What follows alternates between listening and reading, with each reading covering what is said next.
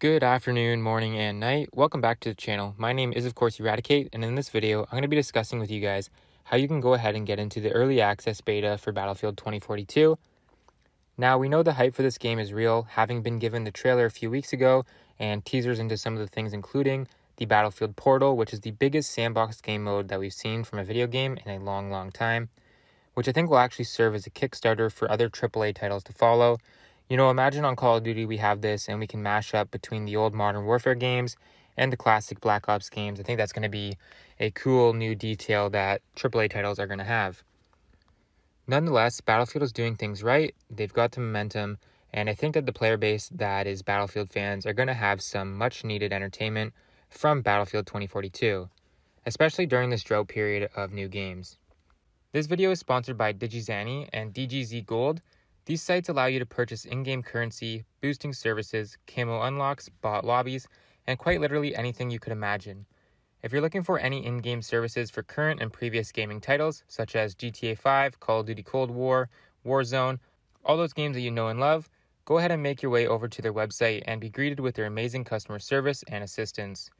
DGZ Giveaways also offers the chance at winning some super cool prizes if you wish to try your luck. Be sure to use code ERADICATE for 5% off your purchases and thanks again to DGZ for sponsoring this video. Now in terms of the beta, it's broken up into two parts. You've got the early access beta, which I'm going to be showing you guys how to get in on in this video. And then there is, of course, the open access portion of the beta.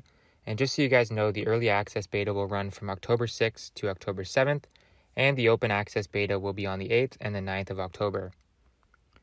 So in order to get the most out of this beta and really enjoy yourself and you know get a feel for the game, and whether or not you want to commit to the pre order, then you're going to want to get in as early as possible.